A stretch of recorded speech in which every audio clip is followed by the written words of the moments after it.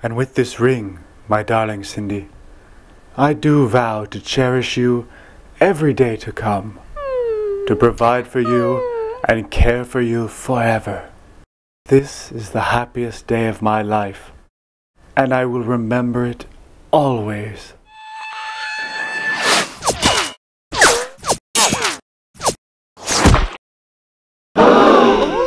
Oh my god! Oh my god! Oh my god!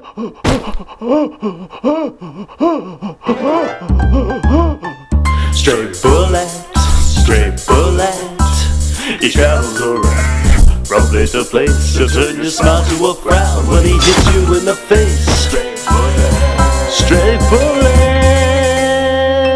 This week on Stray Bullet. I've done it. Yes, this is it. I- I've done it. What is it, Professor? I've found the cure. I've tested it five times now, and the result is undisputable. It is the cure. The cure for cancer? Yes, Fleming, the cure for cancer. Millions of lives will be saved. You're gonna be rich, Professor. Rich? No. No, no, no, no. I could never capitalize on this remedy in that way, Fleming.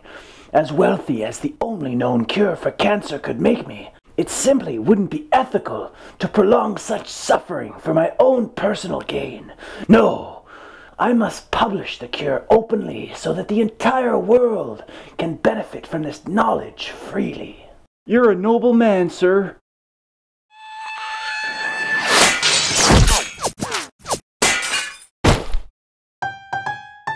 Stray bullet.